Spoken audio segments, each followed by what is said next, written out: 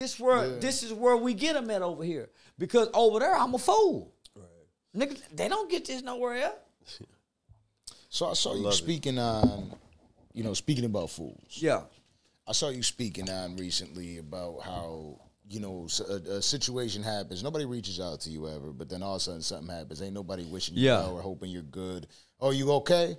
It's Yeah. more or less like tell us a story. Tell us how, how everything happened. Uh, um, is it difficult having people always size you up as a character instead of a human? Uh no, that that uh that that's how I protect me. That that the character protects Charleston because he stands in the middle of Charleston. If I bring me to y'all, then they're gonna crucify me. Do you see what they're doing to Will Smith? And he's he he's he's a quiet man. He's not speaking ill against his wife, but because his wife is showing her flaws, you see how they doing him? Bad. They don't have a character. He don't have a character out there. Uh, I got a character that protects Charleston. Nigga, they get stuck on the character, so they don't even try. They don't even. face. They say fuck Charleston. Because if you got to Charleston, you see, man, uh, he just talking. Nobody can say I done anything. The character is just talking. Yeah.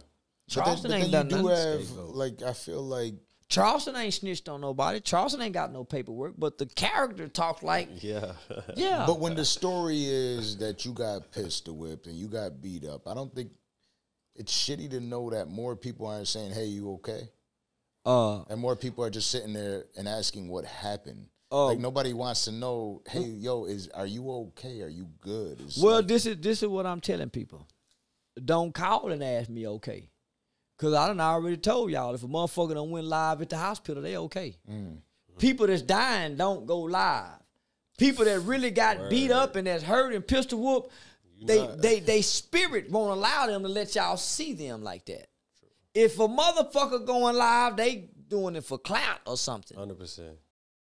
You got real life to worry about, and you want to go live? Come on, think about this. awareness. So so so You know so I mean? so so think about this. Yeah, an incident happened, but it wasn't what the internet think it is. yeah, I'm sitting right here before y'all, homie. Yeah. Next day, I see you. Nigga hit me, nigga nigga hit me in the head with a pistol, but I done been hit in the head with a gun before. I done hit niggas in the head with a gun before, and the nigga that hit me in the head with a gun is a killer. Big bad nigga who run the town, scared of the town, kingpin nigga. Word. but he a child molester and a snitch. In his documentations, there's a historical drug bust in our town called "The Life of the Fishbowl." It's a book about this guy. He the snitch that brought the FBI to bring all his full trade gangster crips down, and he was the leader. But but since he's a killer and can't nobody whoop him, won't nobody speak on it. It's the same in your hood and in everybody else hood. See the nigga that'll kill and can fight and that's gangster, he get to go to prison and fuck a nigga and won't nobody say he fuck nobody. He get to molest children. He get to molest. He get to fuck the sixteen year old girls, the seventeen, and, it- and his homeboy won't say say nothing. shit. He get to beat up his woman, and his homeboy won't speak on it. They'll whisper behind his back. I'm the nigga that speak on it. Mm. Right. See, I'm playing snitch. Ain't no paperwork on me. So I sat back and watched. I said, man, mm. won't nobody say nothing in the streets? They still hitting his C's and hitting his G's. The streets is a hypocrite. They pick and choose who they apply these rules to. Mm, facts. They pick and choose, my nigga, Facts. based on fear. based on fear. Nobody That's why, listen, that's why you never hear about the OGs who rape and fuck the boys in prison. They'll tell you about the nigga that's weak and fuck the boy. They'll tell you about the nigga that's weak and got raped, but they never talk about the killers who do it. And nobody does it more than the killing niggas, the gangster niggas. So this nigga here that hit me with the pistol, we've been crossing paths for a while. He been telling me I can't speak on the fact that he snitched. Won't nobody speak on it but me. And I say it publicly. So we done bumped heads before. I always said, nigga, one nigga can't get me by himself. They go have to get more than one nigga. Can't no nigga get me coming directly at me. He got to get me from behind there. And that's what happened. But you looking at me now, don't you? Mm-hmm. I ain't never. I've been nigga. I've been hit, but I ain't never been hurt. Uh, I took one blow and woke up and stood up, and he stands 6'2", 6'3", 230, 240, and I ain't take no more blows. I went in the ambulance and went live because I'm gonna sue the barbershop. I went live Yeah. with a band-aid. Nigga, I'm gonna sue the nigga, but I'm also gonna press charges too. You feel like you were set up in that instance? Uh, I know I will. Okay. Because because I don't go to Come barbershops. on. Yeah, we all know how. I, listen, barbershops listen, listen, listen, listen, nigga, I don't go to barbershop. all. I got a I got a celebrity bar. I got Kendrick Lamar's former barber, nigga. His call his name is Popular Nobody. He's the director of Paul Mitchell Barber College. He's the guru in the hair. That's my barber. Okay. But an associate asked for a shirt. And I thought to myself, I said, nigga, these niggas ain't never wanted to wear my shirts before. Why this nigga want a shirt? So I already got the red flags. But my brother just come home from prison. These my brother homeboys. And I've been telling this nigga, nigga, your homeboys is the niggas I've been getting into it with. But he he don't know. He lame. You ain't been around. So Right. Big Bro graduated from Barber College. He want to go cut in the hood. Uh, I don't want to kill his dream. Come on, my nigga. No, nigga, by you going to the hood, you get these niggas action at me. Cause I'm gonna come stop and fuck with, Fuck you. with you. Now they got the drop people. on me, nigga. Damn. But I don't want to kill That's simple. bro. I don't want to kill bro dream. But goddamn, nigga, fuck this. No. but okay. So Oh, now they got I, I fuck with you, so I'm a, I'm a Man, I'ma listen, homie. and I fuck with the nigga who cut my used to cut my hair.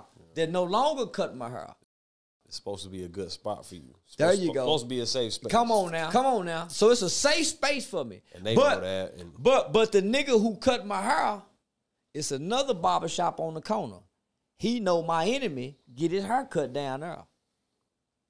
So say, man, such and such. There you go. There on Thursday. there so, you there uh, you go. Say so so if you feel like stopping by. So the play was, hey man, see if your brother bring me some shirts up here. I want to buy some of them shirts. Oh man, he ain't got to buy none, my nigga. I'm gonna bring him some of them hoodies and all that shit. I'm yeah. So I bring the shirts up there. Uh, I don't go to barbershops, and, and and I don't sit nowhere alone. So so nobody knows my movements. Uh, I got I got three. I, I got I got many. I got several houses, homie. Uh, nobody knows where I sleep. Uh, so uh, so it was several people involved. Uh, yeah, it was several people involved. So uh, Damn. uh, it wasn't about me though. See, certain things have to happen. Uh, it, it, it if your friend die, your friend death is supposed to have an impact on you that causes you to change something about your life for the better Lesson. right? Uh my brother wouldn't go listen. So something had to happen Show. for him to listen. Because you going back to the hood, my nigga. you been gone 31 years, nigga, on a 114 year sentence. Since you was 17 years old on a capital learn. murder charge, You right? You got to relearn some things. nigga, and, and, and so you done went back to the hood. Well, we all know, nigga, in order to change your life and change things, the first the first things that you have to change is people, places, things. You can't get out of prison and go back to the same people, the same places, and the same things. You're going back to prison, right? Facts. If you done graduated from Paul Mitchell Barber College, nigga, where you learn how to cut white people's hair, you learn how to dye, why would you take these skills clippers. all to the hood? Ain't no white people coming there to get their hair cut. Nigga, you learn, you got the kind of skills where you can go to the mall and get $70 cuts. Why you coming down here with these niggas with these $30, $40 cuts where they fight and shoot at? and you Paul Mitchell certified. And I'm telling you, nigga, I'm telling you, my nigga, you get these niggas action at me, my nigga, cause you my brother and you still wanna hang around these niggas. I get it. You gotta get it out of you. But nigga, you get these niggas action at me. So he had to so this had to happen to me so he can see little bro know what he talking about. See, big bro don't think little bro know what he talking about. And I had to tell that nigga, nigga, you been gone 31 years, nigga. Don't none of them nigga give a fuck about you, nigga. Nigga, your mama was the only one riding down there to see you, nigga. I quit you at some point. Mama was the one still sending you money, nigga. When you start fucking up and it looked like you didn't want to come home, nigga, I said, fuck you. Mama ran down there to encourage you. yeah. That's your partner, nigga. That's your partner, nigga. Mama, that's who rode that 31 years. Did none of them nigga. Mm. But this had to happen to your little bro so you can get from down there, nigga. I had to sacrifice this to get you from down. Cause nigga, these niggas don't have action at me, my nigga. But you came home and gave these niggas action at me because you fuck with these niggas, homie. And I'm telling you, these the has been niggas. These the used to be niggas. I'm the today that nigga. Huh. Yeah, now nigga, I can buy you a barbershop. Nigga, fuck the hood, nigga. but he had to see. What you don't want to do is shatter his dreams.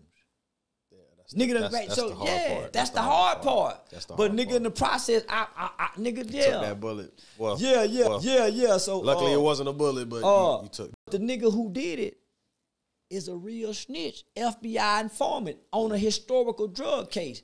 But because he's a high valued gangster in the streets, Oh, he just dropped some bars over there. Because he's a high caught it. value gangster Yeah. in the streets, they Yeah. overlook and turn a blind eye to his flaws. And he a real killer. And then in the internet, it always gets a little wild when the Oh well, stories I, come out. well, I brought it to the internet so it can get wild. See, so what I did Yeah, I was, see. uh, uh, I know his videos on there, right? Mm. Nigga, I got above they videos. Smart. So let me So- say, so- so question. Smart. you heard what happened with Budden? nah, uh, They said he got beat up last night. uh, or well, night before on on uh, at the strip club, and it was the same thing. Um, people saying they beat